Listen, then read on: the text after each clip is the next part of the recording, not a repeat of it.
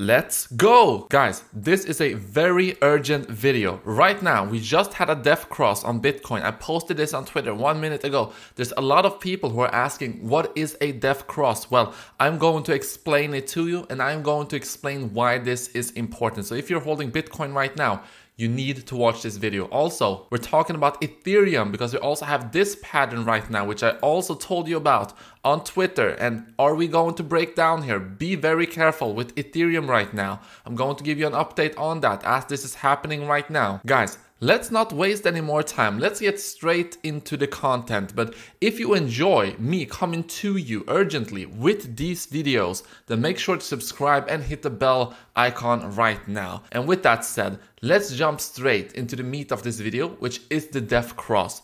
So the Death Cross is something that a lot of Bitcoin traders and even traders that are not trading Bitcoin but traditional markets are paying close attention to. In fact, if you just Google Death Cross Bitcoin or Death Cross whatever, you're going to get a lot of data. And so you can see that we had a Death Cross. This article from Coindesk is all the way from March of 2020.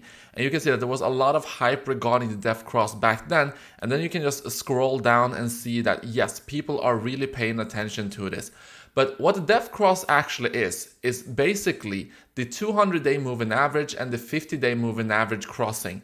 And what you get is either a Death Cross, which is a bearish sign, or a golden cross when they cross to the upside. So basically, it is the 200 four hour period moving average is the green line, and the red line is the 4 hour 50 period moving average. So what is a moving average? It takes the price action, everything that is happening, and it just averages out based on the price previously basically. So it just gives you a clue as to di the direction of, of Bitcoin or whatever stock, whatever you're watching. And so you have the 50 up here, you have the 200 up here. Now the 200 is obviously going to uh, move slower. I mean, it's not going to swing as dramatically as the 50 because the 50 only accounts for the 50 candles prior to it, while the 200 accounts for the uh, 200 candles prior to it. So it's a bit technical, but here's what you need to pay attention to. Right now, the 200 is about to cross the 50, meaning that we are going to have a trend reversal here according to the technical pattern. And uh, guys, is this mumbo jumbo? Should we pay attention to this? Well, the best way to pay attention to this and uh, know if we should consider this as something important to watch is by looking at the results previously. So if we go back in time and we look at the prior time in which we had that cross, we had that cross actually in August of 2020. So you can see that we had the cross right here. The 200, the green, went above the 50 and crossed it right here on the 4 hourly chart. And what's interesting is that we actually had a small pump here. We pumped, what was that, 5%. But then you saw that immediate drop by 20% right here. And this was not anything major in particular going on here as far as I remember anyway. This was in the middle of the whole DeFi hype summer, so yeah, that's what you got. And then if we continue, we go to the second last time we had that cross. It was actually right here in June of 2020. And so we had a similar event unfolding. You had a pump by 4% and then you had that drop by 10%. And then we had, you know, consolidation right here. But let's continue. Let's see if we can see it one more time here. So right here in the 26th of February, we had that death cross right here as well. And we dropped, and look at this guys, this is going to shock you. I mean, we dropped 60%, but remember, this was the Corona dump, and I consider this a major black swan event. So I'm not going to scare you, I'm just showing you what has happened previously and why people are paying attention to the death cross right now so that you can be prepared for whatever. I mean, I'm not saying that we are going to have a catastrophic event, but if a lot of people are paying attention to this right now, I think that you should definitely have that information as well. As for my own trades, what am I doing myself? Well, I still think that the $30,000 level is going to hold, but the longer we stay here, I mean, we are eventually going to run out of steam. But for now, the $30,000 level, I expect it to hold. In fact, when we went down yesterday, we had that big drop. I said that $30,000 is going to hold. That is what I am expecting. We didn't go that low. We actually went to 30,800. So we almost got down to that vicinity. But uh, yeah, as long as we are within this area, I mean, the longer we are here without making a significant push higher,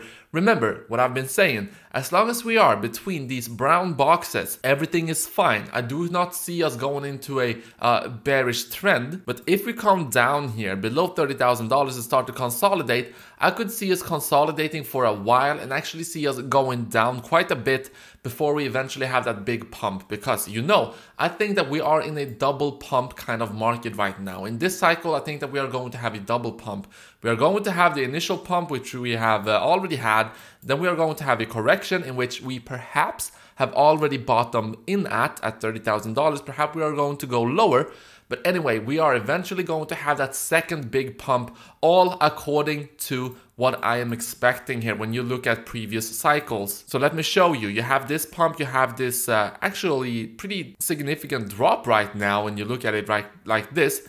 And I think that rather than this thing right here, we are going to have something like we saw in 2013. Not this dramatic, but we're going to go up, we are going to go down, consolidate, and then have another second major push to the upside. That's what I'm anticipating. We will see how things plays out. But if there's one thing we can be sure of, it is that we are about to have something major happening because you cannot have this triangle go on forever. We are going to break out uh, either to the upside or to the downside eventually. And this is going to be a very exciting move. For all the people who thinks that Bitcoin is boring right now, you are about to see something big happen. Now, is it going to happen within the next couple of days? Is it going to take a week?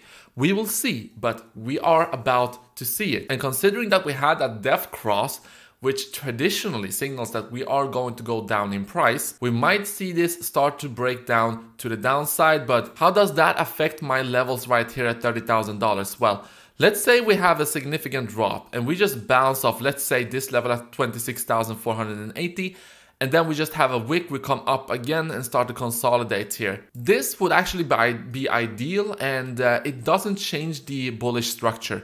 But here's the thing, if we go down and we break down here and we start to consolidate below here, you know the drill, I've been saying this for so long, then I anticipate us going down lower and yeah, actually spend a lot of time below this level. So this is what everyone should be prepared of right now, guys. But all in all, just like I showed you yesterday, Bitcoin is bullish long term. It's going to go up in price.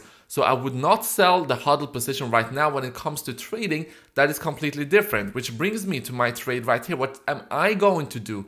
Well, if we obviously go to the upside, that's fine. But if we go down here and we start to consolidate like the scenario I told you about here below $30,000, I'm going to identify levels in which to buy at and then play off the bounces and exit this position at a profit in case I think that we are going to consolidate for quite a bit.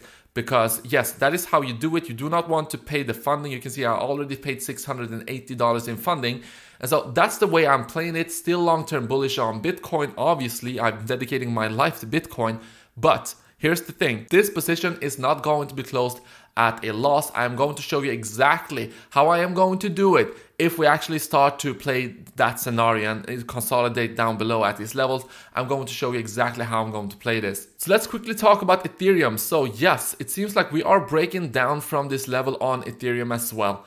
And so what is the measured move target here? Well, I mean, this is not a super pretty uh, asymmetrical triangle, but I mean, you could take the width of, of this uh, structure right here, and the target in that case would be around $1,000 uh, on Ethereum. And here's the thing, if you go to this level right here, you got the support level at 1,200, you got support at 1,160, support level, and this is stronger support than the prior ones here, this is at 1118.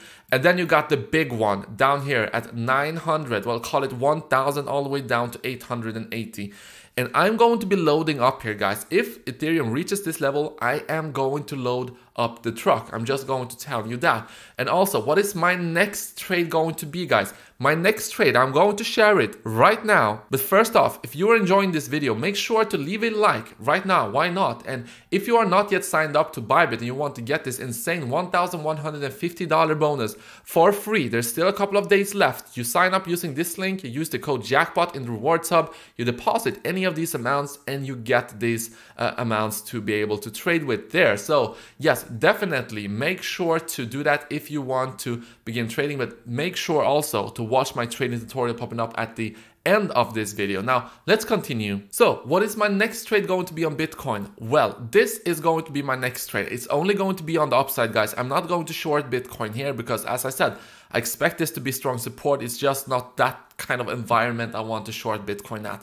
But if we come up here, I'm going to make a breakout trade, meaning that I put a small order as we get above this and I put the stop loss down here. Okay, I want to put the stop loss below this level. So if we go up here, so it's a pretty wide stop loss, I'm aware of that. But if we go up here and then we make a retest and then we break that level, whichever level we have when we make that initial breakout, I put an even bigger bet right here and then I ride it to the upside. So let us talk about that again. We break out at this level, I'm going to put in a trade and then I watch it go down. I watch it get to this level again, to the, uh, well, resistance line right here now, support. Retest of this, and as we go up, we break the previous high. So let's say on the breakout that we are going to get to this level. And yeah, in that case, I am going to load up more if we actually break this level. So we take out the prior high with wherever it's going to be on that initial breakout. It's not going to be this high probably. It may probably be more like at this level perhaps, and then we come down and then we take out this high and that is when I really load up. Still having the stop loss down here and then riding it to the upside, taking profits along the way. But I am going to update you on that guys. Should we not actually break out on the upside and we just go down, well then the second scenario is going to play out in which I am going to exit this at a profit and I'm going to show you exactly how I intend to do that. So guys, I want to show you something else. Remember my altcoin video I did in November and my pick, my number one pick for November was Alpha Finance. And look at the price here. This was by the end of, no, it was, uh, yeah, it, it was basically leading into November. My pick of Alpha Finance was at 3 cents. And I just saw that this has gone up to $1.5. Completely insane. This is almost a 50x in what is what is that? 2 months. Almost a 50x in 2 months. Completely insane. If you put in $1,000 based on this video, you would have $50,000 today. You put in $10,000, you would have $500,000, half a million by just getting into this coin. So as you know, I am still making altcoin videos on the Bitcoin News Today channel. Our altcoin picks, they are killing it. So I've got the link down in the description if you are not yet subscribed to this channel, guys. A lot of people gave me credit for the video yesterday. A lot of people were interested in the uh, NUPL, the net unrealized profit and loss. And of course, guys, when we get into the blue vicinity here, I'm going to keep you updated. But the update I got right now is that the Bitcoin price is going down. And so the scenario we talked about yesterday, it actually holds more true today than yesterday.